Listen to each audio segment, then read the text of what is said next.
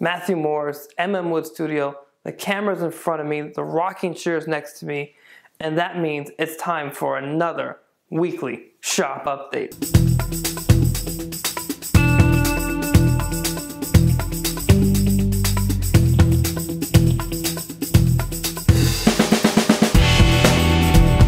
So, what has been going on this week? Well, actually, a whole lot. It may look like there's not been much because the rocking chair is pretty much in the same spot it was last week. And um, it doesn't look like there's a whole bunch of new stuff that's been done because the arms aren't done yet and the panels aren't here. But there's actually been a lot of work I've been accomplishing this week. And let me walk you through it. So, first off, I got back onto the crest rail. Now, last week I had just finished shaping the crest rail to a rough shape. And I really like the shape. But after taking a look at the two chairs I have in my house, I have the living room armchair I built from last year for the build video, and the first prototype of that chair I'd ever built um, many a number of years ago. I'm, I do not even know how many now, three. Uh, I'm not sure, but that was inside the house as well. And I looked at the crest rails from both of them, and I really, really liked the approach I did on the crest rail for the build last year. And that's what I worked to here. So the crest rail on the build had a much thinner top than what I had uh, rough shaped everything too. So what I did was I spent some time this week with the spoke shave and um, I continued to refine the shape by um, coming back even deeper into the top part and uh, making the, the where the top where the fr- uh, the front part and the back meet much thinner.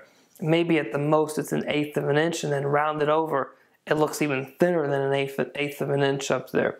And um, that's all around. That's all along the entire um, curve of the back as well. So that was a really a lot of fun. I was really happy with that, and I finished sanded this piece as well.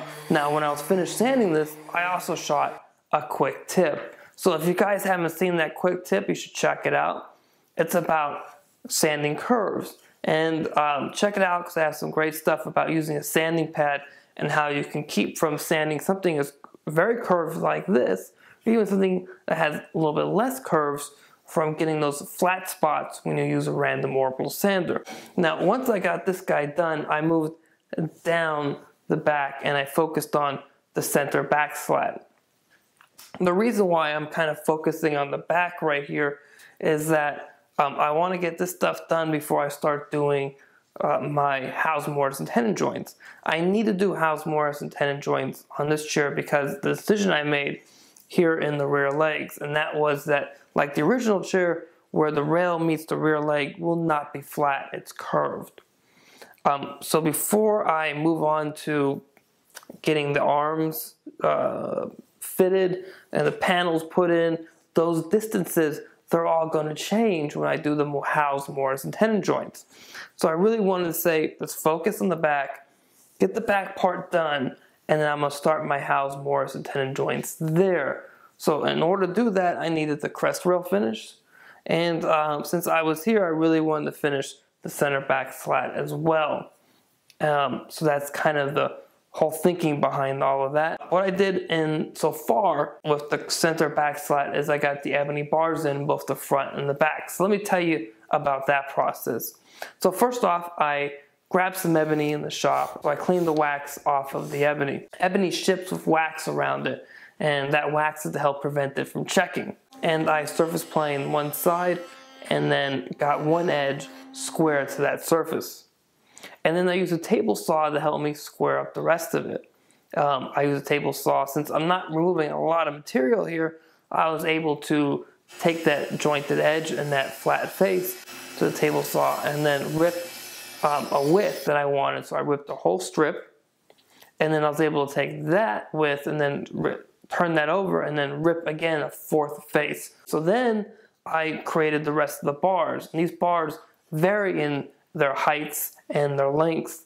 So I had to um, cut the two bars out first on the bottom and then make the bar, the rough blank for the bars, thinner as far as the height is concerned. And then I cut the middle bar out and then the top bar out after that. Now the next thing I needed to do was to clean these guys up over at the bench and get them prepped and ready for me to drill holes in.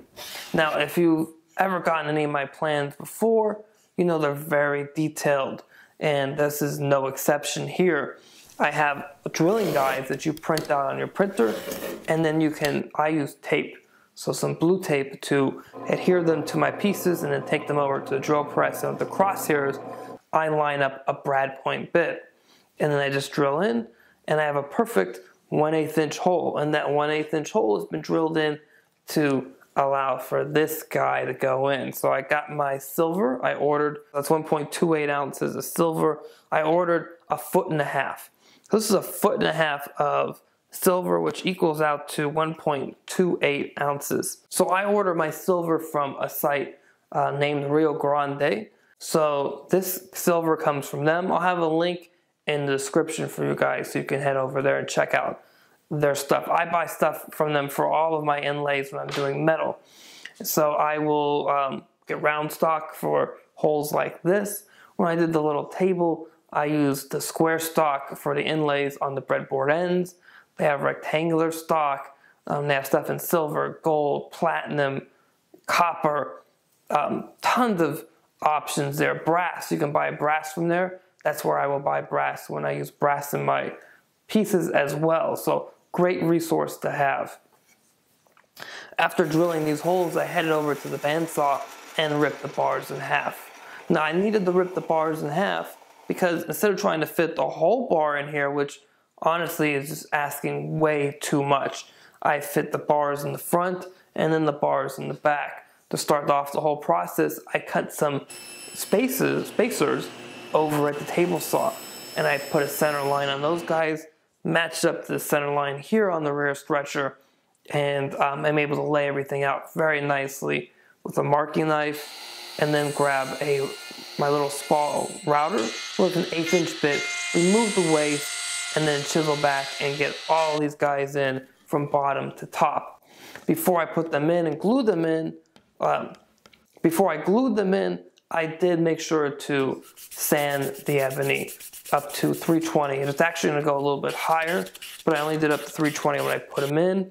Uh, it will get up to 600 and then buffed out as well. But that's another step right before I put the silver in. So there's a couple of steps going on there. After I did the front, I finished for the day and came back. And today I finished the back bars. So literally like a half hour or so ago, I finished putting the last piece of the back bar in. And of course, before I did all that work, I forgot to say that I sanded the piece as well because coming back and trying to sand this afterwards, at least this section of it, is an enormous hassle. Otherwise, in rocking chair news, um, I do have chapters three through seven now up on my site. So if you have a yearly subscription, guys, you can now watch chapters three through seven. That now chapter two is not up yet. Uh, I'm I'm actually going to go backwards and get that one finished up here uh, very soon.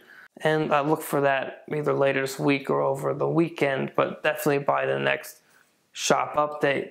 Now, speaking of the website um, and all that fun stuff, kind of leading into what Matt and I just put up today, which is the latest episode of the Matt Matthew Show, episode 11, where Dima joined us and we talked about Instagram for woodworkers, and we touched a little bit on a couple of other social medias and um, and just barely touched on Etsy. Um, but it's a really great episode. That brings me back to what I'm going to say now, which is hey, if you guys haven't already, hop over to my site, mmwoodstudio.com, sign up for the newsletter. And at the end of this, I have a new card which has all my social media links that'll jump you off to Facebook, Twitter, Instagram, everything else I have. So if you haven't given me a follow or like before, I'd really appreciate it if you would do it now. It'll really keep you guys in the, the know-how or know or in between you know, seeing the weekly shop updates, you can see the pictures I'm putting up. I'm really appreciative of everybody watching. Thank you so much. Um, comments are great. I, those are fantastic. And as always, please subscribe to the channel.